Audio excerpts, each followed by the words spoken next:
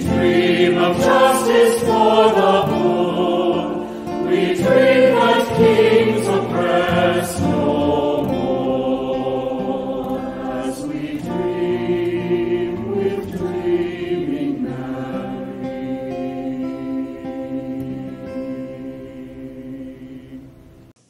Good morning, everyone. I'm Stacey Mortson, minister at Trinity Centennial United Church in Rosemont. Welcome to worship this Christmas Eve morning. You are worshiping at home this morning, and we'll see you at church, God willing, at 3 p.m. for our Christmas Eve service, or you can watch it later tonight on YouTube. The 3 o'clock service will be filled with music, we'll have communion, and no Christmas is complete without bells, and our bell ringers will be there for a lovely set of Christmas music. Know that wherever you are and whenever you join in, you are a part of this beloved community. We are now in the last of our Advent waiting. The time of God's coming is near at hand. Today we'll hear Luke's account of the Annunciation, which he brackets with two references to Elizabeth. Her mention is theologically important. Why is she included in the narrative? You'll notice that Mary does not answer Gabriel immediately with her yes to God's proposal. She does so only after hearing that her older relative will also be with child and will accompany her on this journey. We'll hear a little bit of Elizabeth's take on this whole scandalous state of affairs and just what she thinks of that Joseph. I acknowledge theologian Betty Radford Turcott and former moderator of the United Church, David Giuliano, for inspiration for this morning's meditation. And now, Joanne will share lighting of the fourth candle, the candle of love, with us. On this fourth Sunday of Advent, we light this candle symbolizing love. We come to lean into loving one another, even when it is difficult. Jesus demonstrated that every person is worthy of our love, a flame of purpose that should not be extinguished.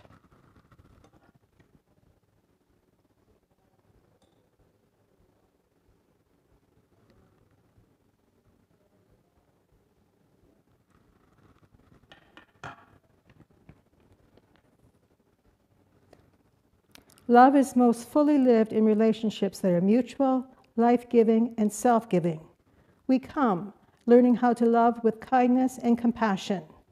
Let us sing as we celebrate the good news embodied in love alive among us.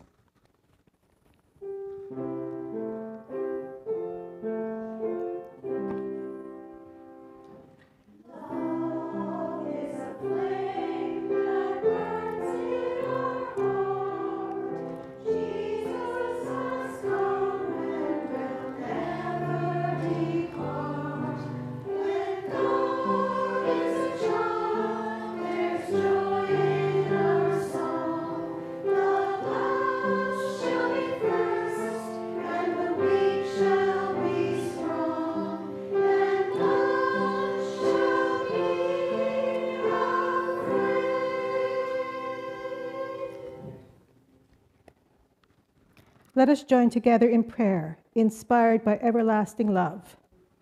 Teach us, O God, to hear the cries of those impoverished. Show us how to care for others with loving kindness. Communicate with us so that we too may communicate the good news with love. Encourage us to move toward those who need us. Open our perceptions to discover Christ's face in one another, setting our hearts on fire with passionate self giving. Amen.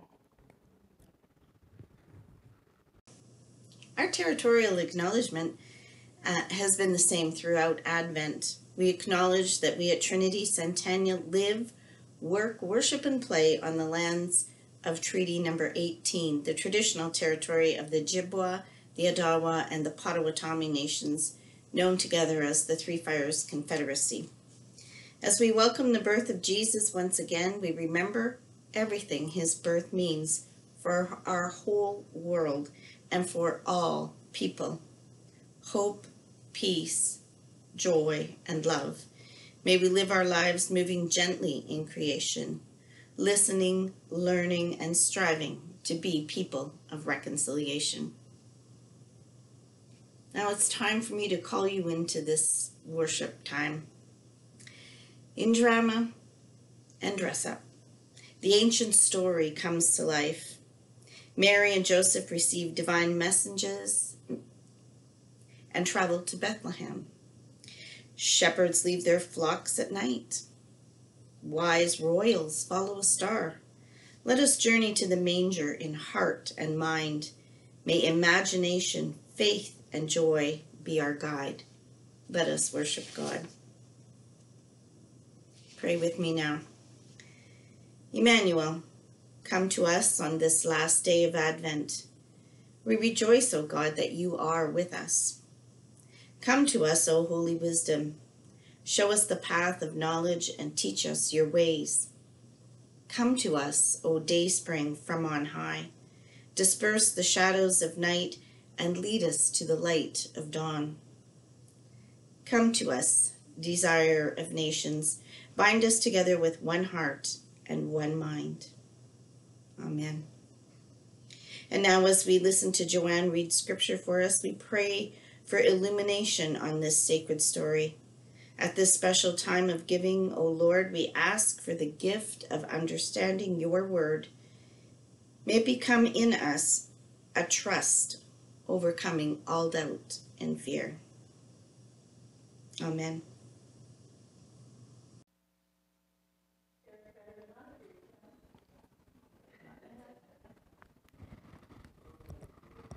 The scripture is Luke 1, verses 26 to 38. The birth of Jesus foretold.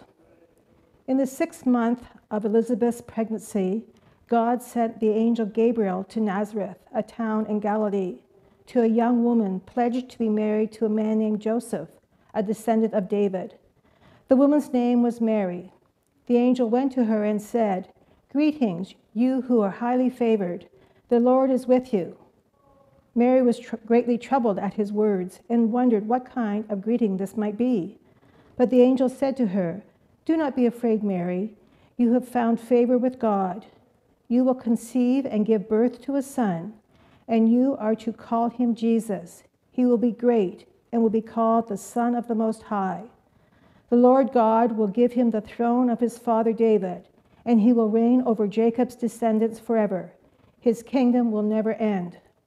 How will this be? Mary asked the angel, since I am unmarried. The angel answered, The Holy Spirit will come on you, and the power of the Most High will overshadow you. So the Holy One to be born will be called the Son of God. Even Elizabeth, your relative, is going to have a child in her old age, and she who was said to be unable to conceive is in her sixth month. For no word from God will ever fail. I am the Lord's servant, Mary answered. May your word to me be fulfilled. Then the angel left her.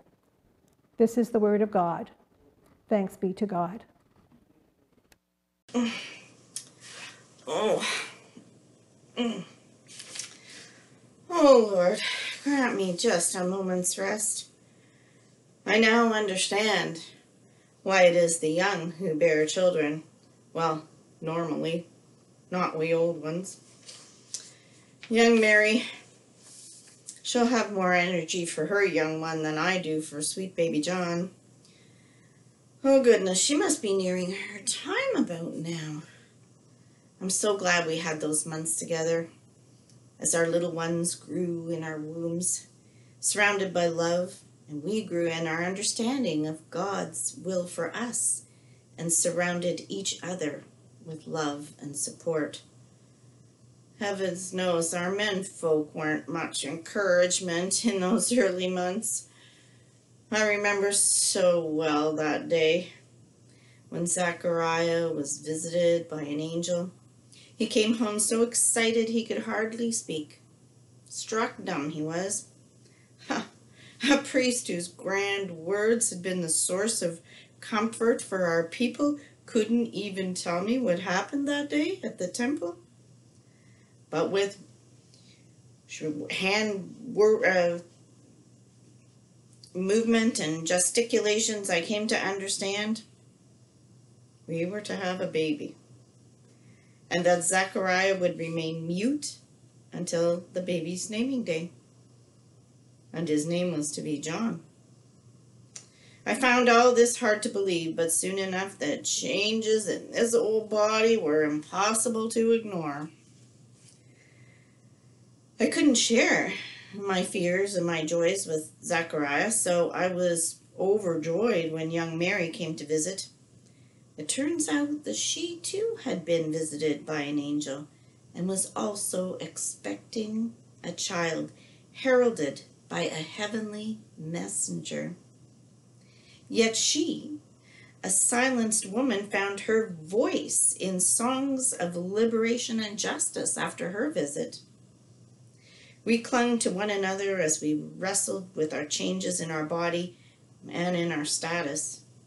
Me as old one, written off as barren, and she as a cast off, unmarried, pregnant teen.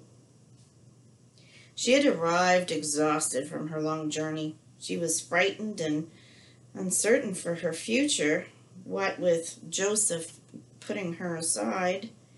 Yet she was determined to fulfill the role of God bearer, Theotokos, and I admired her faithfulness.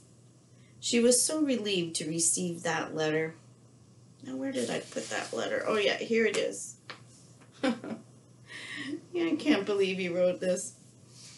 Dear Mary, I intended to address this letter to my dearest beloved Mary, but feared at this point you would welcome only the barest salutations from me. Maybe you have already torn these words and the papyrus upon which they are written into a thousand shreds and scattered them with the excrement that flows in the gutter. oh, he's so funny. Who would blame you? I have been a fool. Worse than that, I have been an arrogant fool. Mm, well, that was a change. I have much more to write about you and me, but first I want to convey my deep relief and joy at the news that you are well and you are there with your cousin Elizabeth and her fine husband Zachariah. I was so glad she was here too. The morning after you left, your father came to my home in a rage. He demanded to know where you were and what I had done with you. You won't believe this, but he broke my nose with a wooden stick. The pain makes me think of you, so I'm, I'm kind of glad he broke it. Your mother came next, screaming like an eagle. Oh, I can just see my cousin Anna doing that. Your father and I were rolling in the dust like a couple of synagogue boys. She grabbed your father by the ear, pointed at me, and ordered us inside the house. Quite a crowd had gathered at the spectacle. The scandal. Your mother told me that when they woke up that morning, you were gone. I had said that you had probably gone to the hills for the day, but my heart began to sink as I sus- suspected that this might be different. They said you were crying when you got home the night before and demanded to know why. So I told them I called off our wedding and why. I was so shocked and hurt when you told me that you were pregnant, Mary. I felt insulted when you said that you believed it was God's will that this child, who is not mine, would change the world, liberate the people, care for the poor. It was as if you, an uneducated peasant girl, were calling me, a religious elder, and your husband to be a fool. My pride opened my mouth. I even convinced myself I was doing the noble thing quietly calling off our engagement seemed to be the kind thing, the honorable thing. After all, everyone knows that I do the right thing to a fault. Folks would say, Isn't he kind when he could have had her stoned to death? I don't believe Joseph could have done that. I'm glad your parents came. They told me of their shame, too. They told me of what they thought about young girls who got pregnant. Your father sobbed. Cast the first stone? How could I even say such a thing of my little girl? Those were his exact words. Hmm. I can see Joachim saying something like that. The letter goes on. When your father and I agreed that you would be my good wife, it was the happiest day in my life. I know, and you were right to say it. We men treat women like donkeys, the way we wheel and deal over you. But but I don't mean that I felt happy in the same way that I would be if I'd made a good bargain. I mean I felt the deep joy of the completion of something I had always dreamed would come to pass. You helped me understand what the Torah means when it says that God saw the first human's loneliness and said, It is not right that this one should be alone. And from a rib fashioned the one who would complete him. You, Mary, complete me. When you told me you were pregnant, I felt as though my whole life had been ripped from my hands. I was angry I didn't understand, and I still don't understand. But I'm willing to try.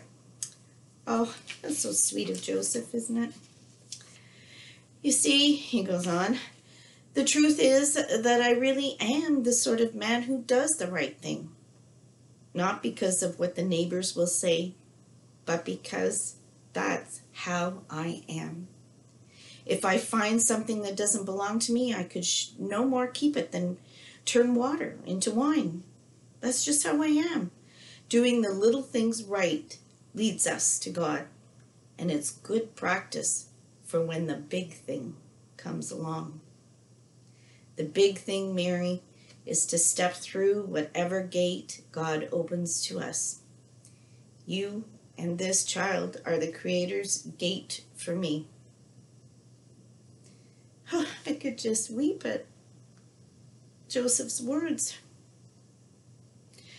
What else could account for this love that feels like drunkenness, but which helps me see the world more clearly, more beautifully than before? Our child, this child, will lead us both to joy and to suffering. Love always does. No, he's such a wise young man, this Joseph. To deny that love, however, would lead to emptiness and to death. Mary, he writes. Mary, please come home. Give my regards to Elizabeth and to Zachariah, and wish them well with their own surprising birth. But please come home. Already I am under pressure to leave for Bethlehem in order to fulfill my census obligations. I would very much like to make that journey and all journeys from now on with you. Together, we will find the way. Oh, my love, Joseph. Oh, I'm sure Joseph had fashioned the most beautiful cradle for the young one. And when he arrives, I know they will be happy and they will teach him the ways of our faith. I'll make sure young John grows up knowing Mary's child. They're both special, chosen by God for great things. Chosen by God. Imagine. Time will tell what that will mean as they grow into men. Only the Holy One knows what will happen. I am elderly. I will not live to see the outcome of it all. Mary is young and is blessed to have a son to care for her into her old age. But we are both fortunate women to be chosen by God to be a part of the story of God's people. Oh no, John, are you waking? Be still, my child, be still, still, still, and let us enjoy the quiet of this time as we await the birth of your cousin. Amen.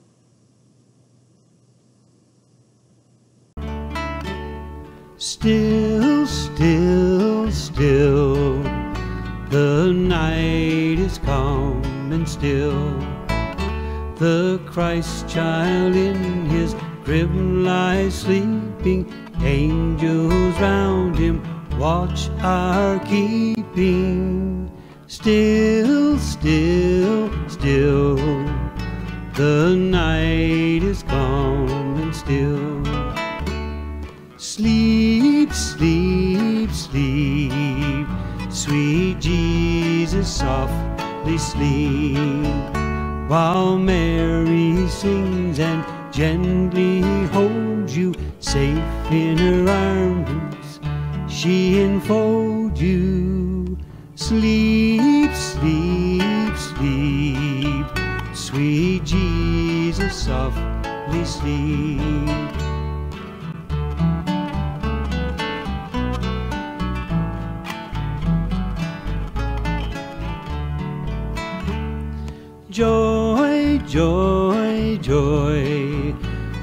Tidings of great joy. For through God's holy incarnation, Christ is born for our salvation. Joy, joy, joy, glad tidings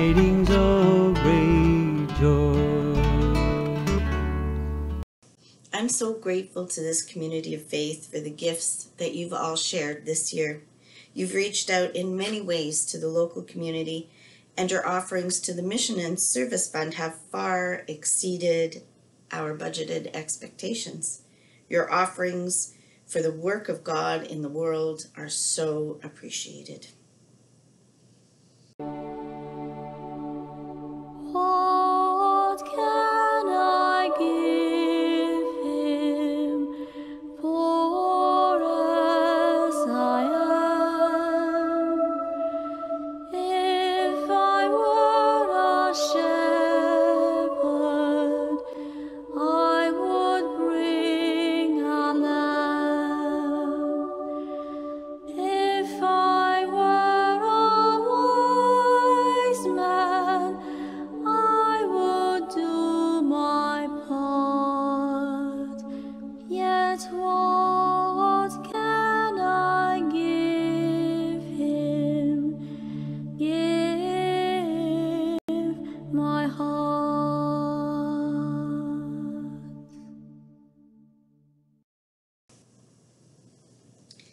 Generous, gifting God, With anticipation and love, we bring our gifts to you.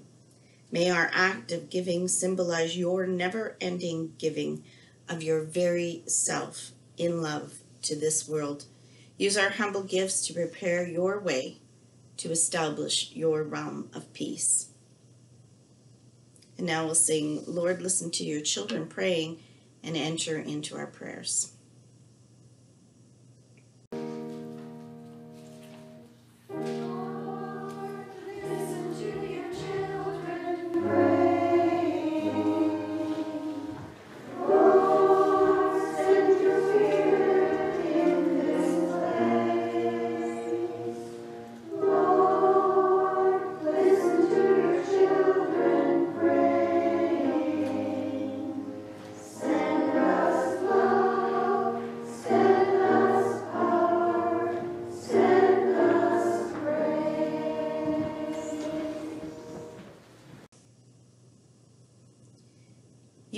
God, the one beyond all knowing, it is you that we long to know, even as we know that you are more than anything we can know or comprehend.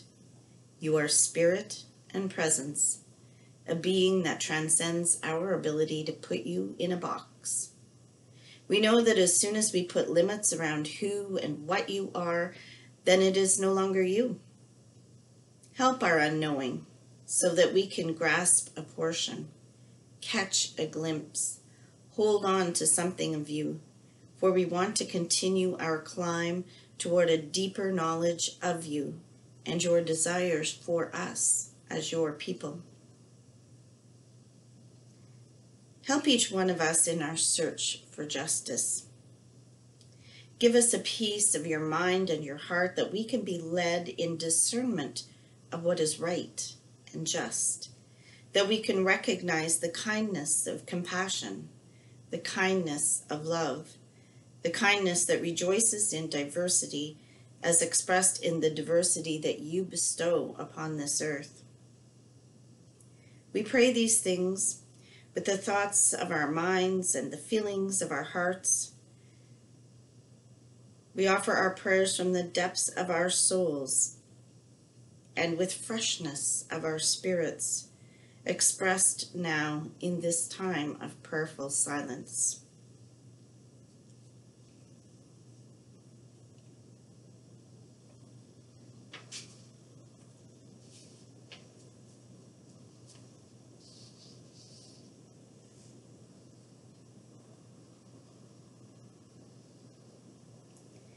May we, may we be messengers of your love for the world.